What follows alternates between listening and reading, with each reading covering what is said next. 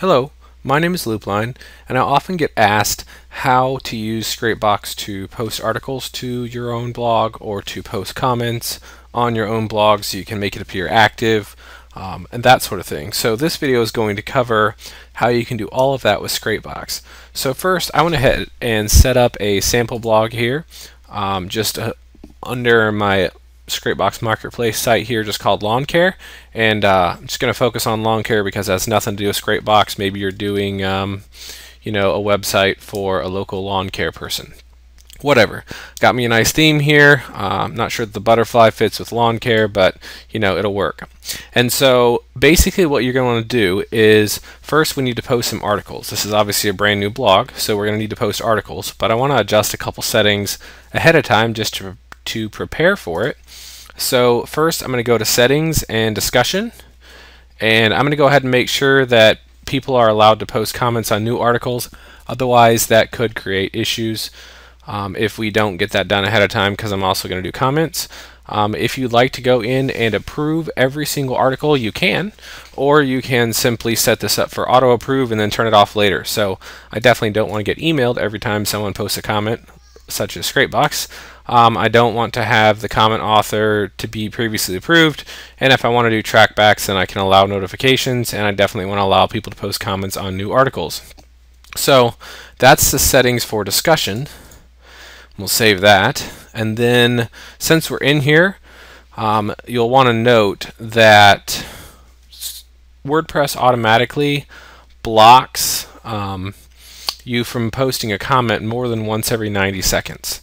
So by default, now they may have changed it, um, but at the time of this video it was like 90 seconds. But the point is, is they block you if you post comments too often. So if you want to be able to post comments more than once every 90 seconds or whatever the current limit is, then uh, Scrapebox actually wrote a plugin that allows mass comments, and we'll install that whenever we get to the actual commenting part of it. But I just wanted to mention it because we were already in the control panel here.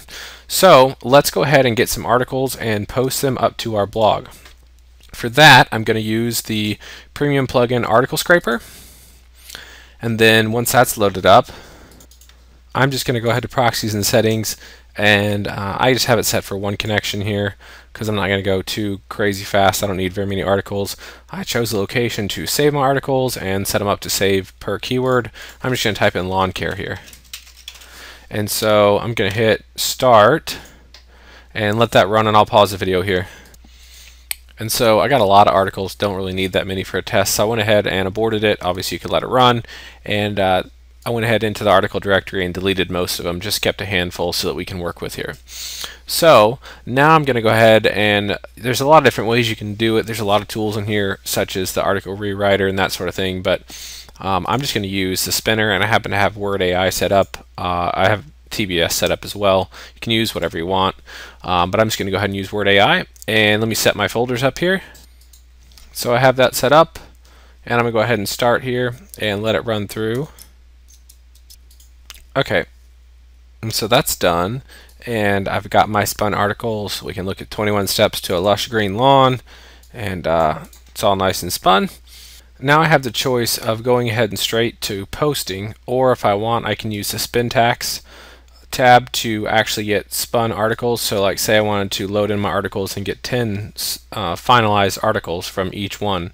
Um, if I was going to be posting to a blog that I was, you know, wanting to have human visitors to, I would definitely go ahead and do this step just to make sure that I picked maybe the best one out of the 10 or best one out of 5 that's, you know, human readable.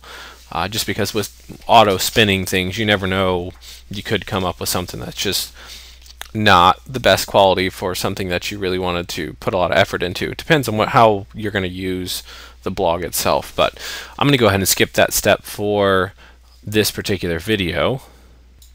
And let's go to the article poster here. And I'm just going to open up the 21 steps to a lush green lawn. And I'm going to grab this as the title here and put it in and then grab my article itself and put it in Then I can put in post tags if I want, etc. If I happen to have a category set up on the blog, then I can select one of the following otherwise and then put it in. Otherwise, I'm just going to choose on categorized here. I'm going to import my URL list. This is the, my actual blog, and you know, don't worry about trying to log into this. I'm going to delete it when it's done. But so I'm going to have the blog URL here, and this is set up uh, just as the blog URL, and then the pipe key, and then the username, pipe key, and then the password. Pretty basic. I'm going to choose WordPress, connections 1. Uh, I'm going to start it here in a second and let it go ahead and post that particular article. And then when it gets done, we have export options if we want. But um, So let's go ahead and let that run, and I'll pause the video while it does that. And it's completed, and then we have the permalink URL here that we could open in a browser if we wanted to. Um, we can actually go back to the site and refresh our list of posts here. And then we can actually go over to the website itself and see 21 measures to a green lush lawn. Um, nice long article there.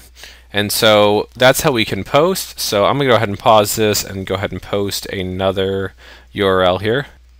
And worth noting, um, in order to post comments on these URLs, we're obviously, obviously going to need them. So we can export our permalink URLs as text and save it off as whatever. So let me post a couple of articles here. So once that's done, I'm going to go ahead and go back to Scrapebox here and I'm just going to grab my couple of files that I created here with the, the permalinks and import them and then so I have my URLs up here that I want to post comments on and then I went ahead and prepared some basic things down here uh, just a list of names and emails generated through the uh, names and emails generator and then for my websites, if you want to build links, you can, but if you don't want to build a link, you can just put http colon forward slash forward slash, and then it's going to get discarded or build a blank link um, for your comments there. And then I just made up a couple of comments, great lawn care site, and then a little bit of spin text there about having a great site coming back soon. And then we're going to transfer our list of URLs to the blog commenter and we'll have our two post URLs here. Now if I wanted to do more than one comment on each URL I could just go ahead and let's say I had you know 20 spun comments in here I can just go ahead and paste this in here a few different times and you get the picture. The more times you put it in there the more comments you're gonna have so we'll do that that should be about six comments a piece um, and then we need to go back to our blog and set up the plugin that Scrapebox wrote so that you don't have to wait 90 seconds between posts. So let me just get that up here. So this is the link to it and I'll go ahead and put a link to it in the uh, video description below here in YouTube. And then once we have it saved off, load that. I already have it saved off on my computer, so I'm just going to go ahead and go to plugins, install plugins, and upload. You can also simply unzip it and FTP it up or upload it to your plugins directory as well. Um, but it's already zipped up, so I'm just going to do allow mass comments, install it. Once it's installed, I'm going to go ahead and activate it, and now we can mass comment on our blogs. And remember earlier, we already set up the settings, so we would not have to auto approve them. And so let's go ahead and do that. And I'm not going to worry about proxies because it's my own blog. And so should be no issues and we just put the plugin in there so that it won't stop it. So let's start posting here and then I'll pause it and let it go through it. I will say while it's running that I went ahead and set connections to 1. Um, if you have a blog that has 50 posts on it and you want to make 50 comments a piece, that'd be you know 50 times 50 plus 2500 total connections. And you go into fastposter and run that thing up to 500 connections you're going to be hammering your own website with 500 connections.